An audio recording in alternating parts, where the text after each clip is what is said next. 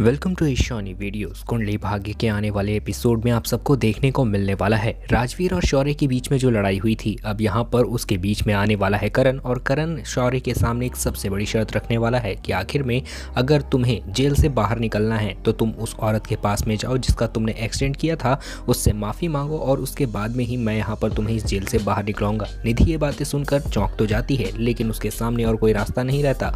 वहीं दूसरी तरफ़ एक बार फिर से शौर्य और राजवीर की मुलाकात होगी, लेकिन इस बार यहाँ पर शौर्य की नज़र कहीं और नहीं, बल्कि पलकी पर जाएगी, जो कि अब यहाँ पर एक नई स्टोरी ही क्रिएट करने वाला है। और आने वाले एपिसोड में एक बार फिर से मिलते हुए नज़र आएगा राजवीर और शौर्य, और उसके साथ साथ यहाँ पर प्रीता से माफ़ी मांगते हुए बिना मन के नज़र आएगा। और लेकिन यहाँ पर शौर्य माफ़ी तो मांगेगा, लेकिन शौर्य के मन में अभी राजवीर से बदला लेने की धुन सवार हो जाएगी और उसका साथ निधि देते हुए नज़र आएगी। लेकिन यहाँ पर अब आपको देखने को मिलेगा कि अब यहाँ पर राजवीर से कोई ना कोई कनेक्शन यहाँ पर अब करण को फील होने वाला है, क्योंकि अब मुलाकात होने वाली है करण की और उसके साथ साथ यहाँ पर राजवीर की।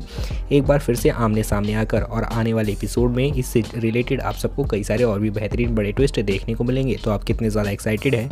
आने वाला एपिसोड देखने के लिए कमेंट करके ज़रूर बताना। चैनल पर नए हो तो सब्सक्राइब ज़रूर कर लेना।